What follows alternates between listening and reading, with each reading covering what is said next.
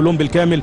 آه، اللي عمل ملف طبي فادنا ودي حاجة بطلبها من حجاجنا في السنين الجاية. إيه؟ الملف الطبي. آه. أرجوك يا حاج يا مصري يا مواطن يا مصري اعمل ملفك الطبي قبل ما تسافر بأمانة. إيه قول كل حاجة عشان إحنا بنيجي مستعدين.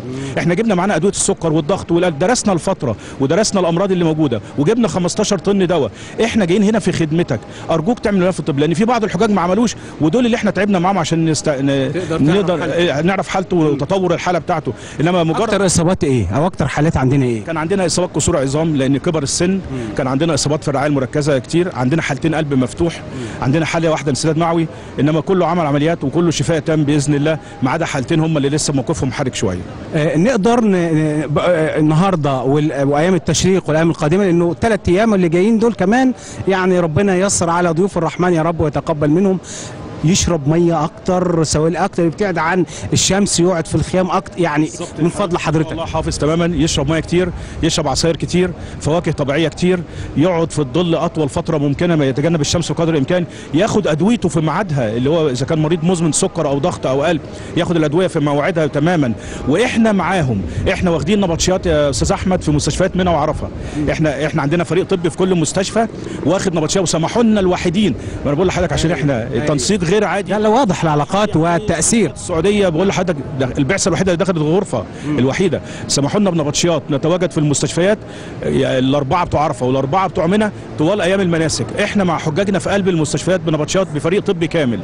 طيب. خلينا قبل ما آه، أختم مع- حضرتك إنه بتنصح الناس إنه آه، يبقى الملف الطبي في السنوات القادمة حضرتك نويت آه، تأتي إلى الأراضي المقدسة تكون عارف ال- الأمور الصحية اللي عندك إيه وتقدمها للبعث عشان يبقى العلاج. الحاجة الثانية بتقول لهم أكتر فترة في الخيام هذه الأيام القادمة في منى بالذات لأنها بتبقى زحمة قوي ودرجة حرارة مرتفعة جدا.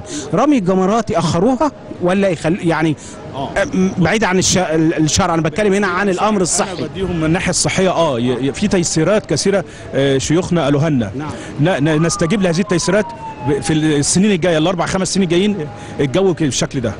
والناس اللي جايين كلهم كبار سن أستاذ أحمد 70 75 80 النهارده عندي حالة وفاة 88 كانت 88 وفاه النهارده. 88 سنة. يعني ده وأنا جاي لحضرتك دلوقتي بيجيني بياناتها حالا اهو. 88 سنة. ده سن كبير. لا يتحمل هذا الجو. فلازم يبقى في نتبع التيسيرات اللي الدين وديننا يسر. ديننا يسر. ومشايخنا قالوا الكلام ده. فلازم نطيعهم يعني. والناحية الصحيه آه تتطلب ذلك. هتتابعوهم إزاي في منى؟ إحنا نبطشين في المستشفيات.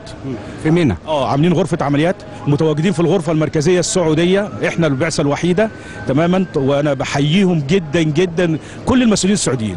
علاقات غير عادية تميز تميز لمصر وتحيز لينا سامحني آه، بعلاقة. ما دخلنا مكان مصر لا كل اللي بوابة تتفتح لك.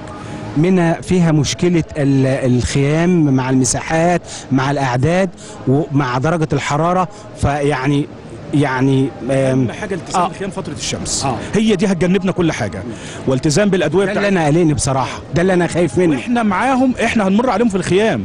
وإحنا معاهم في المستشفيات. الأربع مستشفيات نبطشية كاملة مصرية. مرضى الغسيل كلوي على جنب. ده كل مريض بطبيب بمرافق. تماما. إحنا مأمنينهم تماما إن شاء الله يا أستاذ أحمد. دكتور بشكر حضرتك وتحياتي للبعثة بالكامل البعثة الطبية على جهدكم.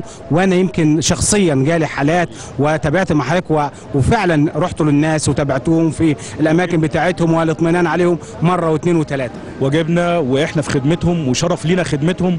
ويا رب نقولها لنا تاني وتالت ورابع وهنكون هنخدم أكتر وهنرجع بتقريرنا وملاحظاتنا. السنة الجاية في أكيد سلبيات هنبقى أحسن. ونستغل الفرصة دي. معاكم عربية إسعاف؟ لا الجانب السعودي مدعمنا بكل حاجة. مدعمنا بكل حاجة. نعم. آه بس كنا بنجيب قبل كده عربيات إسعاف. آه لا ما جبناش. بنستعين